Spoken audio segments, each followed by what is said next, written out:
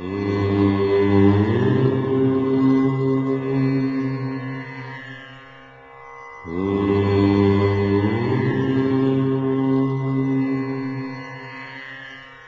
నమస్కారం. ఈరోజు మనము ఆరు ఎనిమిది రెండు వేల పంతొమ్మిది మంగళవారం రోజు ఉన్నటువంటి పంచాంగ వివరణ గురించి తెలుసుకుందాం.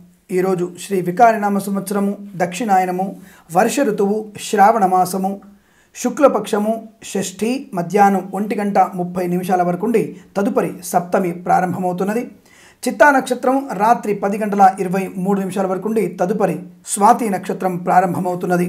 వర్జ్యము ఉదయం ఏడు గంటల ఇరవై నిమిషాల నుంచి ఎనిమిది గంటల యాభై నిమిషాల వరకు తిరిగి రాత్రి మూడు గంటల నలభై ఎనిమిది నిమిషాల నుంచి ఐదు గంటల ఇరవై ఒక్క నిమిషాల వరకు వ్యాప్తిగా ఉన్నది.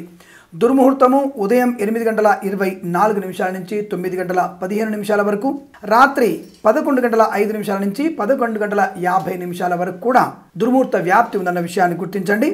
అమృత ఘడియలు సాయంకాలం నాలుగు గంటల ఇరవై రెండు నిమిషాల నుంచి ఐదు గంటల యాభై రెండు నిమిషాల వరకు రాహుకాలం మధ్యాహ్నం మూడు గంటల ఇరవై మూడు నిమిషాల నుంచి నాలుగు గంటల యాభై ఎనిమిది నిమిషాల వరకు వ్యాప్తిగా ఉన్నది. నేను చెప్పినటువంటి శుభ సమయాలను పంచాంగంలోటువంటి వర్జాది దుర్ముహూర్తాలను రెండింటిని కూడా సమీకరణ చేసుకొని శుభమైనటువంటి మీ కార్యక్రమాన్ని ఏర్పాటు చేసుకొని విజయవంతంగా పూర్తి చేసుకుంటారని ఆశిస్తున్నాను.